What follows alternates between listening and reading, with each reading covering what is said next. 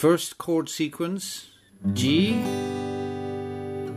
D, A minor, G, second chord sequence, D, C. So that sequence repeats through the whole song. G, D, A minor, then G, D, C.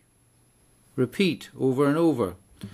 So it's two beats for the G, two beats for the D, four beats, A minor,